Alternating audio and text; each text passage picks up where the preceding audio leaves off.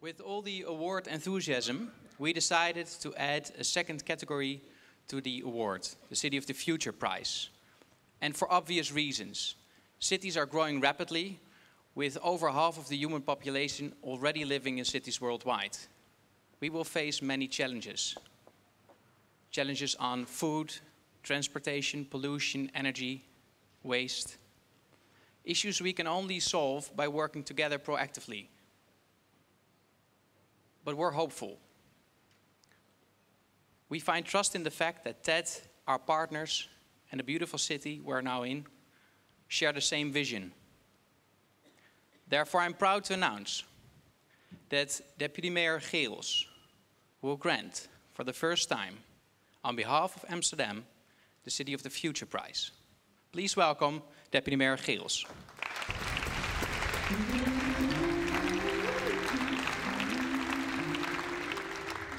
Thank you, Diederik. Good afternoon, ladies and gentlemen.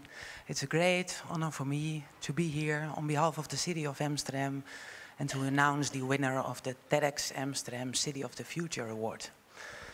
As you said, more and more people are living in cities. More and more cities are the future. And finding solutions for the major city challenges is crucial for the people, for the planet, and for prosperity. And I think we in the Netherlands are good in it. And when I'm abroad, people ask me, why is it so natural for the Dutch? And then I say, first of all, we took a lot of risks in history and we made a lot of mistakes. For example, we sold Manhattan to the British. but more importantly, Amsterdam has, the, Amsterdam has a history in finding solutions, creative and innovative solutions for city challenges. We have a history in it, and I think that's very important for the future. We struggled against water, we struggled against fire, we struggled against diseases, and we succeeded. And solutions are always starting with ideas, ideas for the future, new ideas for mobility, for health, waste, water, food. Ideas worth spreading.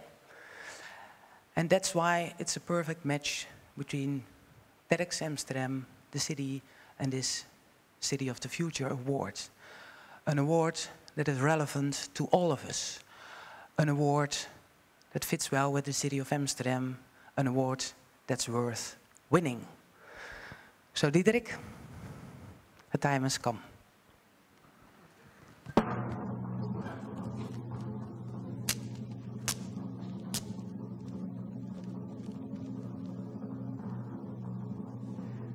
And the winners are Rosella Ferraro and Alexandre Suma. Thank you. Please come on stage.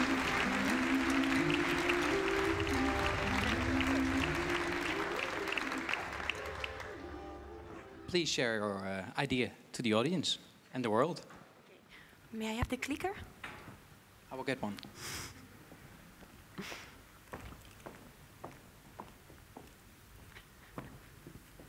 Thank you.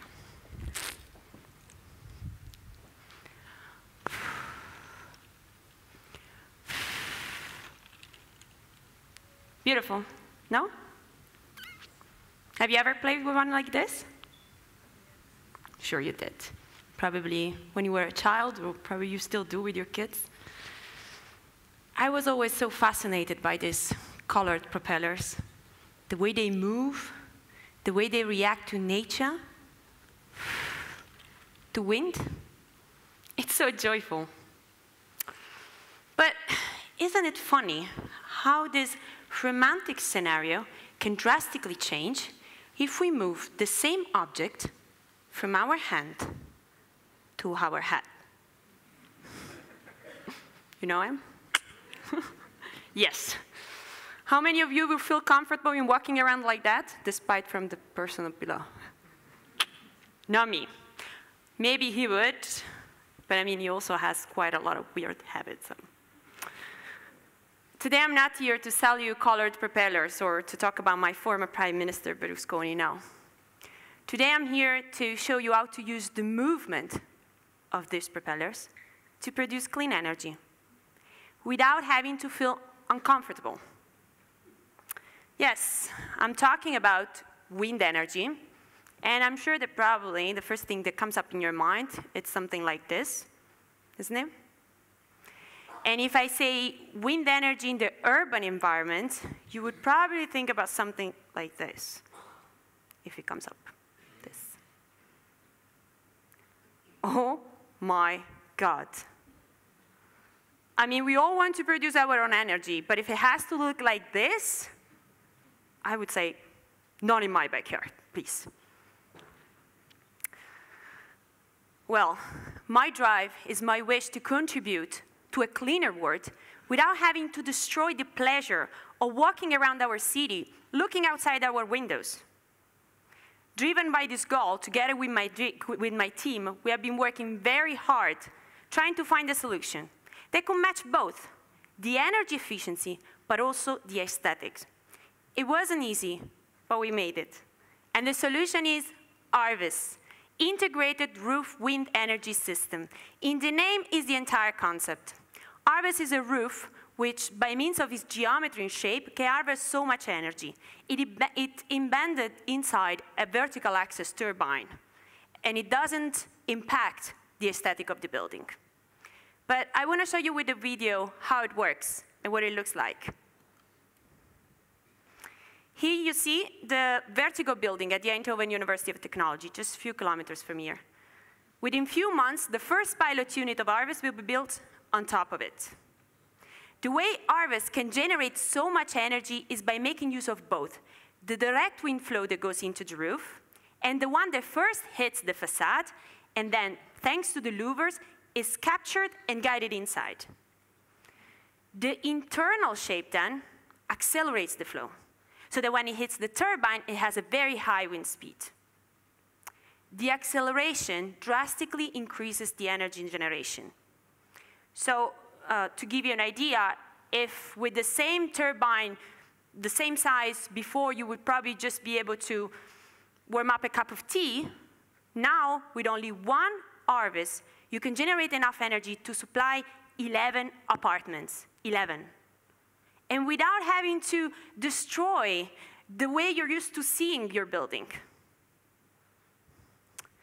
And to quote one of the architects that we have interviewed, he defined the IRWES as the crown on top of the building.